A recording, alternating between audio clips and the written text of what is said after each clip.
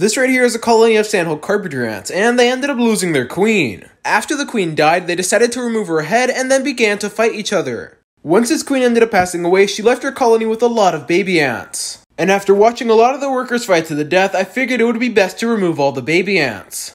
So I brought the ant farm outside, removed the glass, and let all the ants loose. I then began to take all of the baby ants away from the nest. And now that I have all the baby ants in this cup, it's time to give them to another ant colony. All I did was dump the baby ants in, and then I let the workers bring them to the nest. And now it's just a waiting game whether or not these ants actually accept these new baby ants or not. They can raise them as their own for as long as they want, but once they become workers, it's up to the rest of the colony to decide whether or not they want to keep them. So if you don't want to miss any update videos on this colony, I suggest that you follow me.